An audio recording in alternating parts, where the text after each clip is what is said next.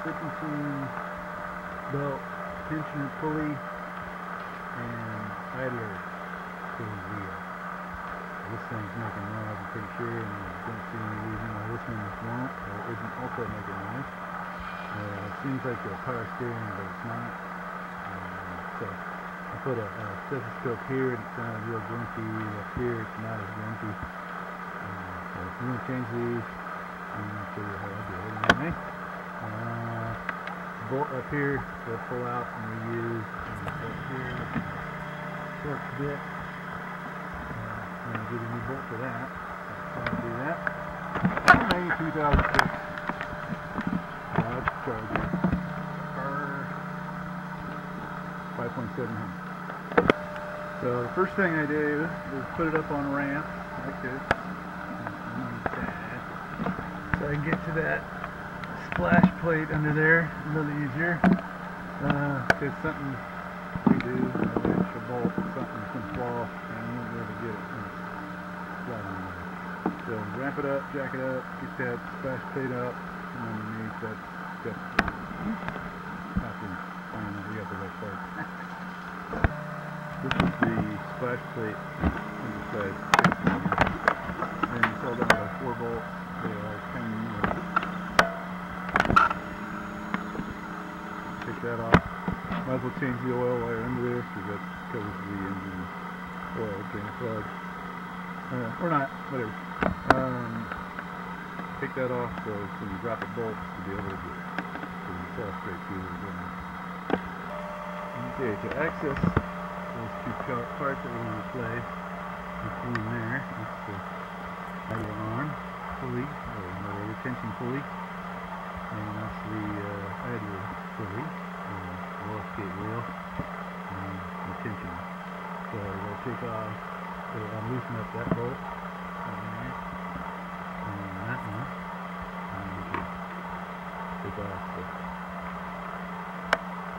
hose. Oh, there, there we go. Just a little wire, and then you can get straight to it. And, and put a bolt, uh, ratchet end in there with a pipe, a little long breaker bar. Release the pressure so you can get it back. I use these two things. Um, I have a pretty decent ratchet with me forever. Oh, it's not broken, knock on wood. And then a big old piece of pipe. Looks like it used to go to something. Um, looks like a tool for taking off uh, any tie rod. But anyway, I just use it as a big motherfucker.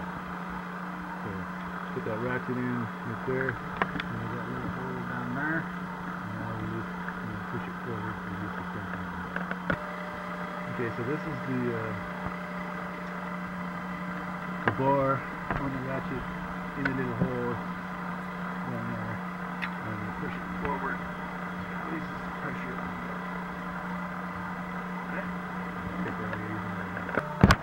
And there you have it. Um, there isn't one on the on here. Um, a serpentine belt uh, map.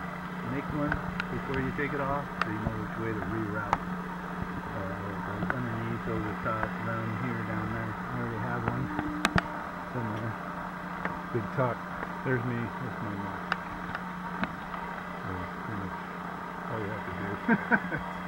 What it is. Okay, well that was the first thing that fell down, and I would not be able to get back if I got uh, didn't pull off that plate. Was the cover to that bolt. uh. So there you go. I for itself already. So we're gonna try to take that one off. I don't know. It doesn't feel bad. So maybe I should replace it. I got the belt off, and got the bolt coming out. Um, it's a 15 millimeter, um, which I can't find my socket on. It's the thing to take it off. Um, maybe use the wrench. But putting it back on, it has a torque spec of 40, so I need to find me a short metric 15 socket. If I got one in it. But anyway, that's what it is. Number 15 to a 40 pound torque spec.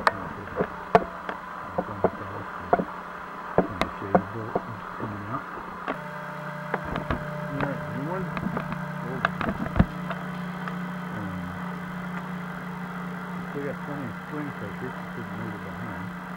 So it's not with a little wheel, so it's not replaced without replacing the whole thing, even though there's a nut on it. Um, gotta replace the whole unit. Which, whatever, if it works, it doesn't screw the road, I'm happy.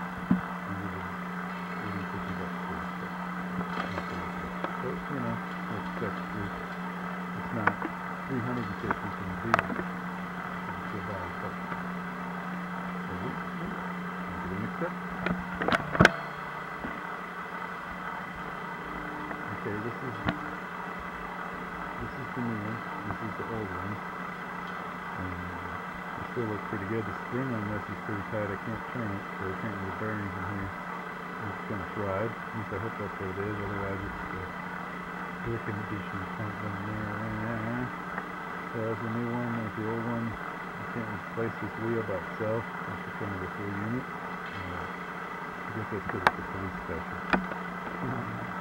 Anyway, I guess that's what makes it tough.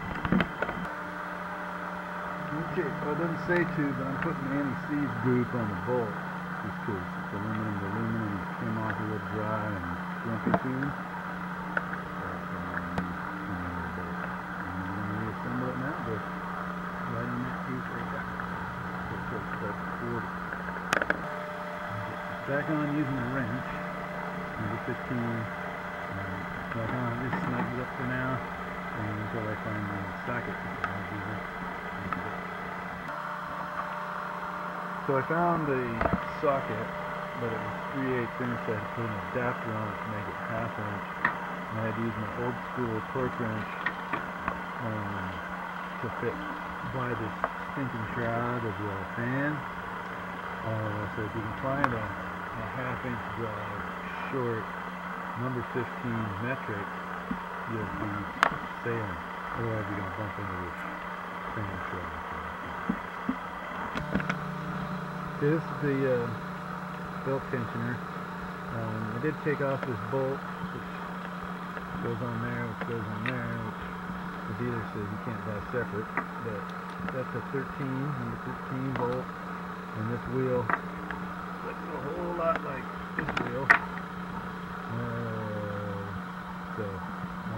seems like it's a serviceable part without doing the tensioner, but I figured, well, since I don't know anything about this car, it's a cop car, and then special, I figured I'd get the new tensioner, just cover all the parameters. But it does look like you could change the wheel out. And the same. Maybe it's just weighted differently. I don't know. They both, both this and that are spinning the same speed, so it must be the same wheel. And is like 20 bucks at um, Amazon, and it's like 30 bucks at the dealers. So, you know, I think that would be a big difference. You gotta pay for shipping probably. There you go. Just noticed it does come apart. Well, the uh, little roller skate wheel um, idler pulley has a bolt in it that is a Torx bit.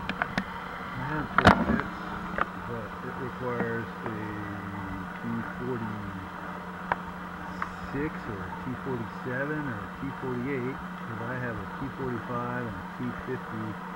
T50 is too big and the T45 is too small. And I started ripping out the inside of that. Hopefully I did not. And I will someday be able to get that off once I get the right T uh, Torx bit.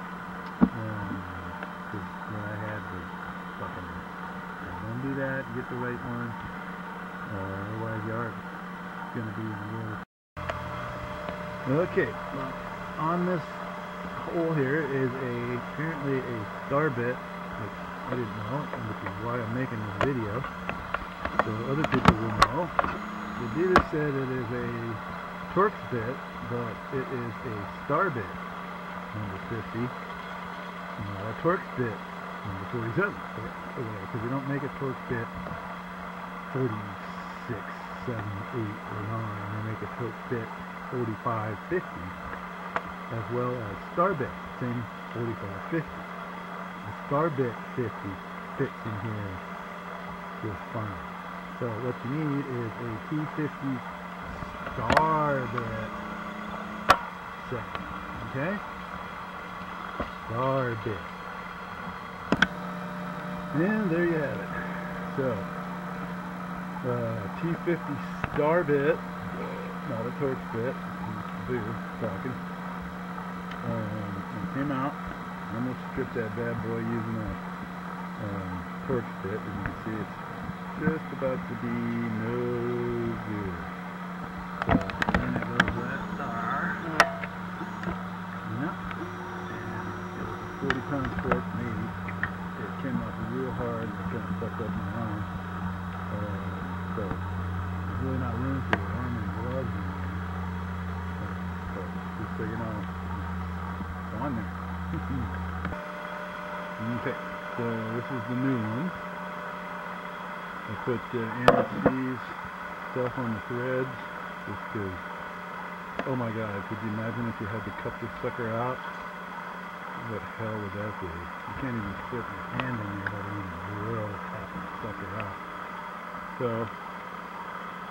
my homie, with anti-seize lubricant in that, and a little bit of anti-seize lubricant on the, on force down there, it sticks over and goes inside that little hole up there, which you also don't want to have seize up on you. Oh my god. Could you imagine the hassle? I can't. I can't. Oh my god.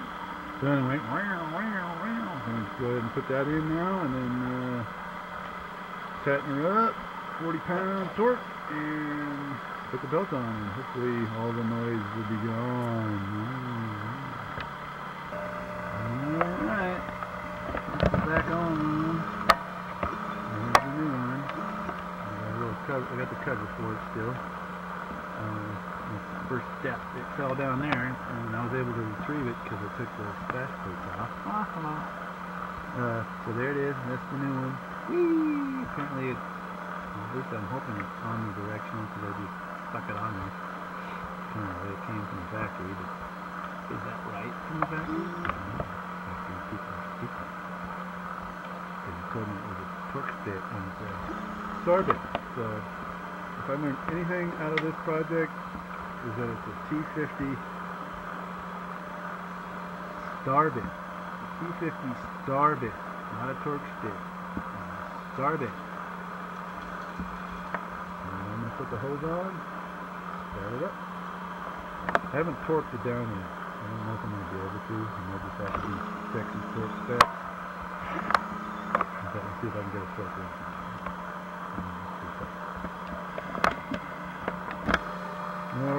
Belt's back on. Uh, I use a 3 8 inch ratchet and a big bar uh, over the handle. Works just fine to move the tensioner to get the belt over the power steering pulley. Uh, pity the fool who did not make a map in advance of the routing of the belt. Because on this car, it doesn't come with a routing on the dash, on the, on the fender. So, uh, would definitely make a map of the belt routing as we're starting this project. And as another reminder, this bolt here is a T50 star bit. Cool. Alright, that was the only big thing that got in my way was I did not have a star bit. Otherwise that and that are changed. And first time I've ever done that on any car ever. So here's a beer. But having a beer on site uh, is uh, important. I think. Yeah, that's my matrix. Alright, well, I hope it goes uh, as well as it did for me and, and go out and get the right number 50 T50 star bit and that's the number 15 metric. Close that off. Lickety split. Back out of boom, boom, boom. Um, again, that pulley down there on this tensioner is serviceable. Just at the dealers, they don't sell it that way.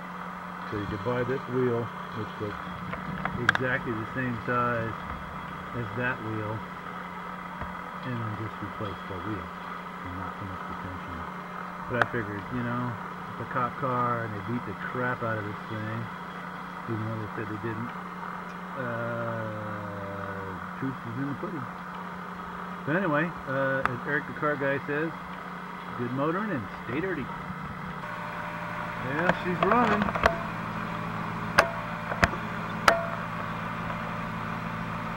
There's the pulley there's the tensioner. It's running it's working.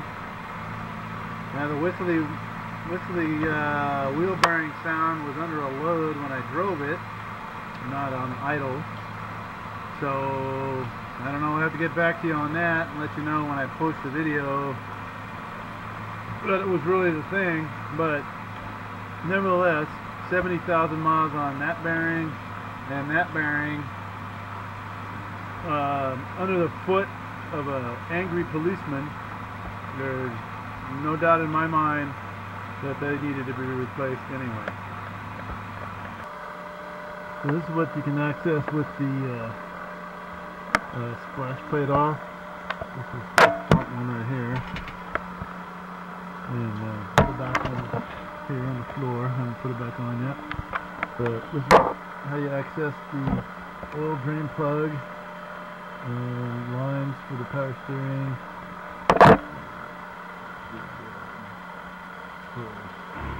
Steering rack and um, other necessities. I did drop a bolt, I did drop a wrench, and it was really nice not having this in the way, so just went boop, right to the. No problem. So, uh, I just wanted to show you the uh, where the, what you can get with the splash plate off. And again is the splash plate right there. Alright, so same area with the splash plate back on it, put some of these groovy little notches. Um, there's four bolts, number 10 metric. Uh, there's four of them, that's number four right there. And I don't really follow the order. another one back there, there's another one over there, and another one up front. And uh, keep your engine from getting all nasty up from road uh, grit and grime. There's a whole bunch of spots on there since I painted it. I only drove it like twice. So one other thing which has nothing to do with the um, pulleys and bearings and shit I just replaced. Um, this car has a NAG 1 tranny, which is a Mercedes tranny. Um, so I put a super magnet underneath where the dipstick, or doesn't have a dipstick, but where the filler tube enters the tranny, I put a uh, super magnet to try to grab any filings that happen while normal operation of this tranny since it has 100,000 mile service and it, it